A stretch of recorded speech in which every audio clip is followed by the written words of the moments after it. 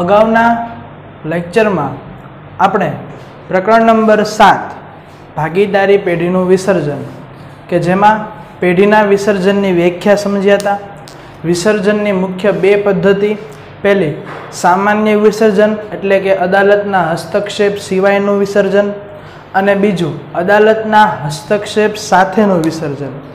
ત્યાર પછી પેઢીના વિસર્જન સમયે અમુક કાયદાકીય જે જોગવાઈઓ યાદ રાખવાની હતી. એ કુલ છ જોગવાઈઓ શીખ્યા, જેમાં છઠ્ઠી જોગવાઈ કે પેઢીની મિલકતોની ઉપજની વહેંચણીનો ક્રમ કે જે પરીક્ષામાં વાડાઘડીએ પૂછાતો હોય છે. એના કુલ છ મુદ્દા આપણે સમજ્યા. ત્યાર પછી વિસર્જન સમયે મુખ્યત્વે ચાર ખાતા ખોલવામાં આવે છે. પહેલું, માલ મિલકત નિકાલ ખાતું. બીજું ભાગીદારના મૂડી ખાતા, ત્રીજું ભાગીદારના લોન ખાતા અને ચોથું રોકડ બેંક ખાતું. એમાંનું ખૂબ જ અગત્યનું આ પ્રકરણ માટેનું ખાતું એટલે કે માલ મિલકત નિકાલ ખાતું, કે જેમાં આપણે આજે આ ખાતાનો નમૂનો પહેલાં તો સમજીએ અને એની ટૂંકનો સમજીએ. સૌથી પહેલાં વ્યાખ્યા, પેઢીના વિસર્જન સમયે મિલકતોની ઉપજ અને દેવાના નિકાલની હિસાબી અસરો આપવા જે ખાતું તૈયાર કરવામાં આવે છે, તેને માલ મિલકત નિકાલ ખાતું કહે છે. એટલે જ્યારે પેઢીનું વિસર્જન થશે, ભાગીદારીનું વિસર્જન નથી થતું, ભાગીદારી પેઢીનું વિસર્જન થાય છે. તો આ સમયે સૌથી પહેલાં વિસર્જન સમયે જે કાંઈ પણ ધંધાની મિલકતો છે, એ મિલકતોનું વેચાણ કરશે. વેચાણ થશે એટલે મિલકતોની ઉપજ થશે. એટલે કે મિલકતોની ઉપજ એની સામે આ મિલકતોની ઉપજ દ્વારા ધંધાના દેવા કે જે વ્યક્તિ પાસેથી ધંધાએ નાણાં લીધા હશે, ધંધામાં મૂડી તરીકે, ઉપરાંત બેંકમાંથી લોન લઈ અને ધંધાનું કાર્ય કર્યું હશે, તો એ દેવાના નિકાલની હિસાબી અસરો આપવા જે ખાતું તૈયાર કરવામાં આવે છે, તેને માલ મિલકત નિકાલ ખાતા તરીકે ઓળખવામાં આવે છે. માલ મિલકત નિકાલ ખાતાનું બીજું નામ સંપાદન ખાતું છે. પરીક્ષાની અંદર વાડાઘડીએ પૂછાતો પ્રશ્ન કે માલ મિલકત નિકાલ ખાતાને કયા નામે ઓળખવામાં આવે છે? સંપાદન ખાતા તરીકે ઓળખવામાં આવે છે. ત્રીજો મુદ્દો, ખૂબ જ અગત્યનો, વિસર્જન સમયે તમામ પ્રકારની મિલકતો અને તમામ પ્રકારના દેવાઓના ખાતા છે એ બંધ કરવામાં આવશે. પણ યાદ રાખજો વિદ્યાર્થી મિત્રો કે એક જ એવું ખાતું છે કે જે વિસર્જન સમયે બંધ કરવામાં આવતું નથી. કયું ખાતું? એ ખાતું છે રોકડ બેંક ખાતું. એટલે કે પેઢીના વિસર્જન સમયે રોકડ બેંક સિવાયની તમામ મિલકતો અને દેવાના ખાતા બંધ કરી માલ મિલકત નિકાલ ખાતે લઈ જવાય છે. હંમેશા ક્યારેય વિસર્જન સમયે રોકડ બેંક ખાતું બંધ કરવામાં આવતું નથી. પરીક્ષામાં એમસીક્યુમાં વાડાઘડીએ પ્રશ્ન પૂછાય કે વિસર્જન સમયે નીચેના પૈકી કયું ખાતું બંધ કરવામાં આવશે નહીં? રોકડ બેંક ખાતું. મિલકતોની ઉપજ જ્યારે થશે વિસર્જ વિસર્જન સમયે, તો ત્યારે યાદ રાખજો કે વે, ઉપજ કરીએ એટલે કે આપણે મિલકતો વેચીએ, તો પૈસા આવે આવે તે ઉધાર. રોકડ બેંક ખાતે ઉધાર, તે માલ મિલકત નિકાલ ખાતે જમા. કારણ કે મિલકતોની ઉપજની અસરો આપવા માટે થઈને જ આપણે જે ખાતું બનાવીએ છીએ, એ ખાતે આપણે રકમ શું કરશું? જમા કરશું. જ્યારે આપણે દેવાનો નિકાલ કરશું, એટલે કે દેવાની ચૂકવણી કરશું, તો પૈસા જાય જાય તે જમા. રોકડ અથવા બેંક ખાતે જમા.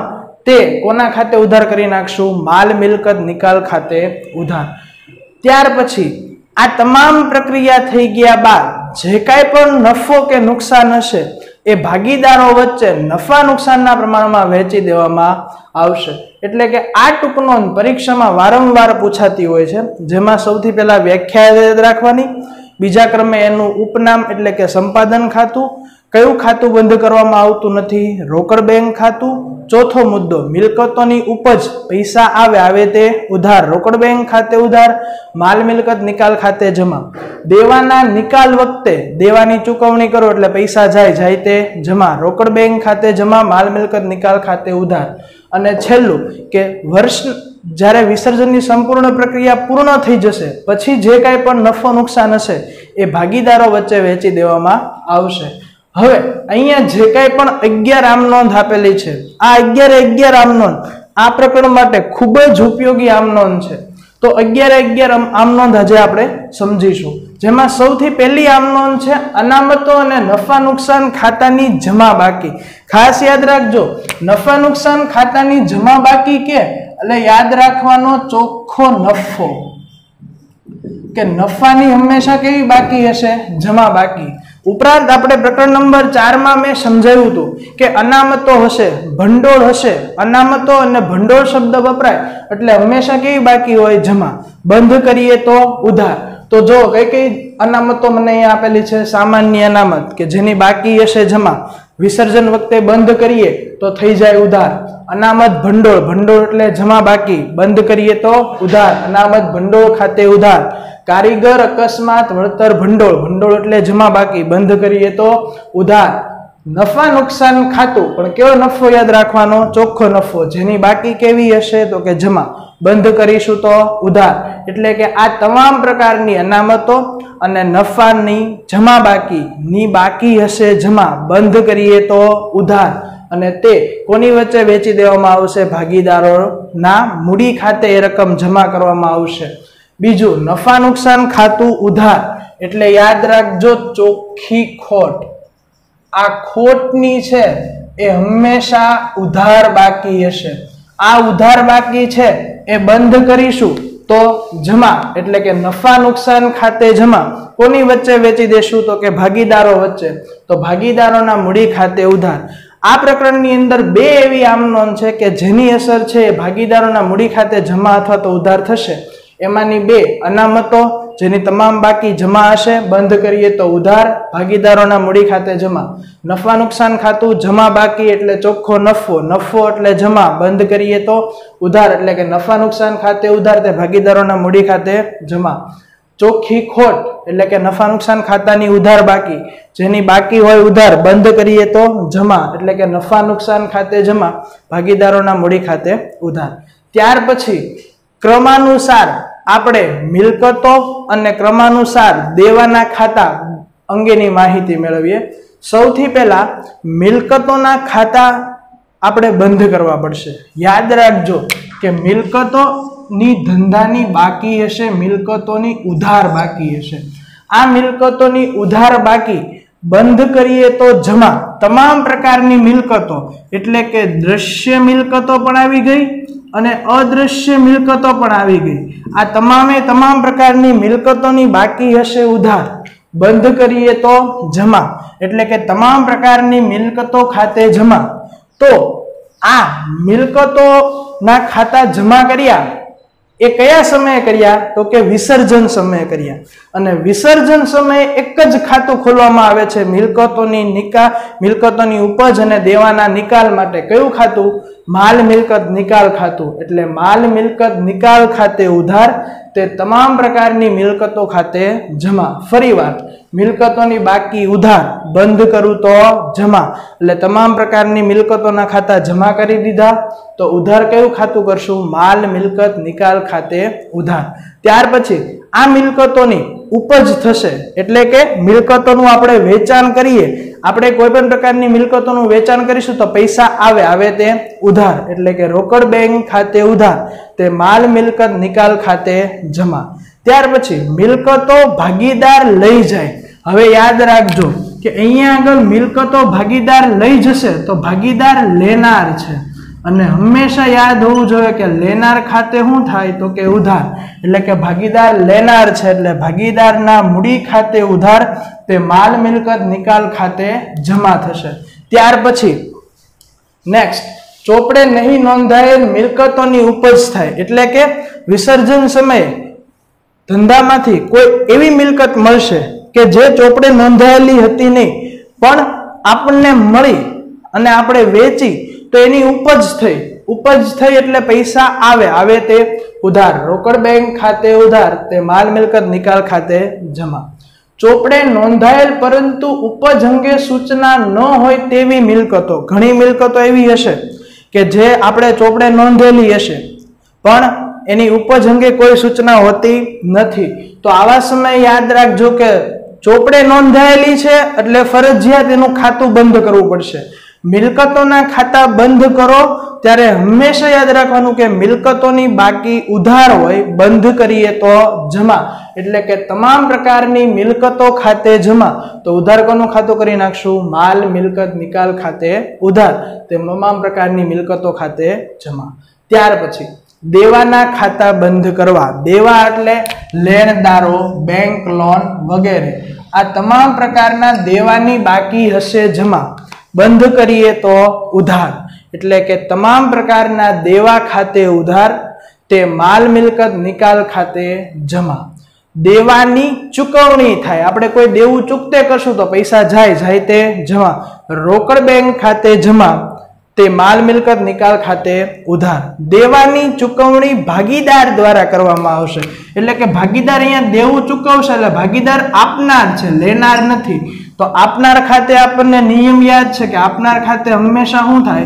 તો કે જમા થાય.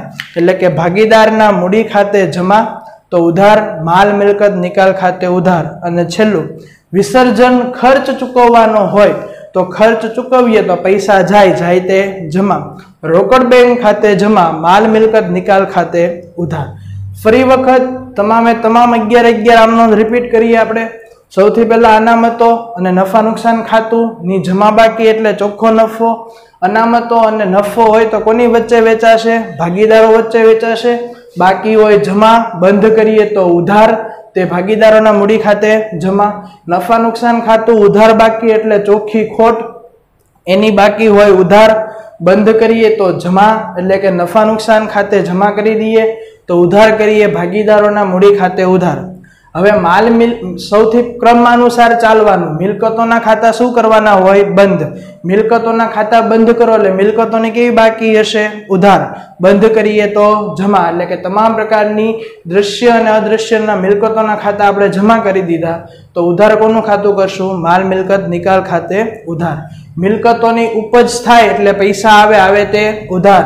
રોકડ બેંક ખાતે ઉધાર, તે માલ, મિલકત, નિકાલ ખાતે જમા.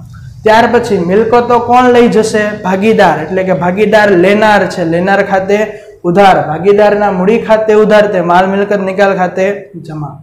ચોપડે નહીં નોંધાયેલ દેવું મિલકતોની ઉપજ થાય. ઉપજ એટલે પૈસા આવે. આવે તે ઉધાર. રોકડ બેંક ખાતે ઉધાર તે માલ મિલકત નિકાલ ખાતે જમા. ચોપડે મિલકત નોંધાયેલ નથી. પરંતુ ઉપજ થઈ તો ક્રમાનુસાર છ નંબરની આમ નોંધ. ચોપડે નોંધાયેલ પરંતુ ઉપજ અંગે સૂચના નથી. એટલે કે ચોપડે મિલકત નોંધાયેલી છે પણ એની કેટલી ઉપજ થઈ એ ખ્યાલ નથી. તો માત્ર ખાતું બંધ કરી દઈએ. એટલે કે ક્રમાનુસાર ત્રણ નંબરની આમ નોંધ લખવાની. દેવાના ખાતા બંધ કરીએ. દેવાની બાકી હશે જમા. એના ખાતા બંધ કર્યા એટલે તમામ પ્રકારના દેવાઓ ખાતે ઉધાર, તે માલ મિલકત નિકાલ ખાતે શું કરવામાં આવશે? જમા કરવામાં આવશે. દેવાની ચૂકવણી કરી એટલે પૈસા જાય જાય તે જમા. રોકડ બેંક ખાતે જમા, માલ મિલકત નિકાલ ખાતે ઉધાર. દેવાની ચૂકવણી કોના દ્વારા કરવામાં આવે? ભાગીદાર દ્વારા. તો ભાગીદાર એ આપનાર છે. આપનાર ખાતે જમા, એટલે કે ભાગીદારના મૂડી ખાતે જમા અને માલ મિલકત નિકાલ ખાતે ઉધાર કરવામાં આવશે. અને છેલ્લું, વિસર્જન ખર્ચ ચૂકવવાનો હોય તો પૈસા જાય જાય તે જમા, રોકડ બેંક ખાતે જમા અને માલ મિલકત નિકાલ ખાતે ઉધાર. આ ઉપરાંત એક આમ નોંધ ખાસ એક આ યાદ રાખજો બાર નંબરની પ્રોવિડન્ટ ફંડ ઘાલખાદ અનામત. કે જે તમામ પ્રકારની મિલકતો ઉપર ઊભી કરેલ અનામતો છે. આ એક પ્રકારની અનામતો છે. જેની બાકી હશે જમા. બંધ કરીએ તો ઉધાર. એટલે આની આમ નોંધ યાદ રાખજો પ્રોવિડન્ટ ફંડ ખાતે ઉધાર ઘાલખાદ અનામત ખાતે ઉધાર, તે માલ મિલકત, નિકાલ ખાતે જમા. આ બંને ફંડ અને અનામત એ મિલકતો ઉપર ઊભી કરવામાં આવે છે. એટલે પ્રોવિડન્ટ ફંડની બાકી હશે જમા. ઘાલખાદ અનામતની બાકી હશે પણ જમા. બંધ કરીએ તો ઉધાર અને માલ મિલકત નિકાલ ખાતે જમા. આ પ્રકરણની અંદર જે ત્રણ ગુણના બે દાખલા પૂછાય છે, એમાં હંમેશા એક દાખલો આમ નોંધનો હોય. જે એક્ઝામ્પલ નંબર એક અને સ્વાધ્યાયમાં બે દાખલા દાખલા નંબર પાંચ અને દાખલા નંબર છ, આ બંનેમાંથી એક હશે, જે આપણે હવે પછીના વિડીયોમાં ભણીશું.